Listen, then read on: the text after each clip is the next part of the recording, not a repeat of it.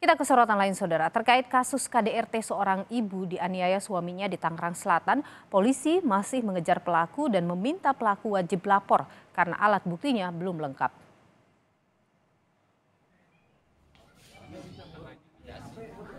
Satreskrim Polres Tangerang Selatan kini masih mengumpulkan alat bukti berupa hasil visum korban dari rumah sakit terkait kasus KDRT yang dialami seorang ibu oleh suaminya di perumahan Serpong Park, Tangerang Selatan. Polres Tangerang Selatan membantah pelaku dibebaskan tetapi mewajibkan lapor diri setiap saat karena belum cukup alat bukti.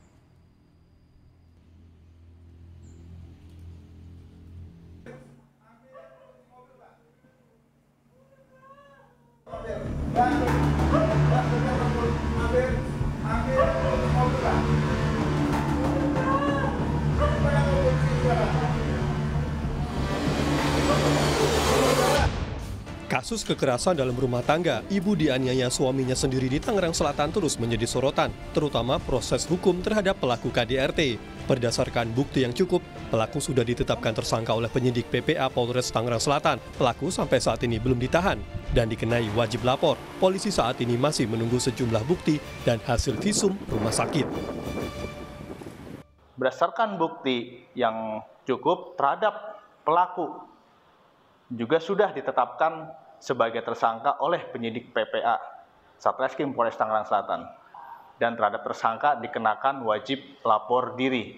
Dapat kami klarifikasikan bahwa terhadap pelaku bukannya dibebaskan dari proses hukum karena tipiring atau tidak pidana ringan. Itu tidak benar. Jadi bahwa benar kasus tersebut merupakan tidak pidana murni berdasarkan pasal 44 Undang-Undang Nomor 23 Tahun 2004 tentang penghapusan kekerasan dalam rumah tangga. Jadi perkara tetap lanjut, tetap kita proses walau tersangka tidak ditahan. Sambil kita menunggu alat bukti lainnya, menunggu hasil visum jadi juga. Ayah korban menyebut tak hanya melakukan kekerasan, pelaku sering memberikan ancaman kepada korban dan keluarganya lewat pesan suara jika berani melapor kasus KDRT ke polisi. Sementara terkait bukti kasus kekerasan telah tersebar di media sosial, seperti video amatir dan foto korban yang menderita sejumlah luka. Mohon maaf, bukan lancang, bukan sok jagoan. Pasti gue satu keluarga, satu persatu gue. Tapi gue juga punya adat.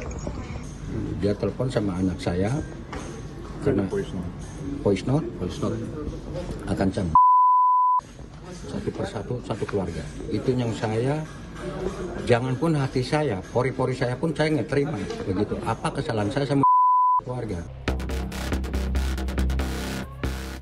Dalam kasus ini, Komisi Kepolisian Nasional Kompolnas mendorong polisi segera menahan pelaku KDRT. Pelaku KDRT yang suami korban sendiri bisa dikenakan pasal 44 ayat 1 Undang-Undang KDRT dengan ancaman hukuman maksimal 5 tahun penjara dan denda 15 juta rupiah baiknya pelaku dilakukan penahanan.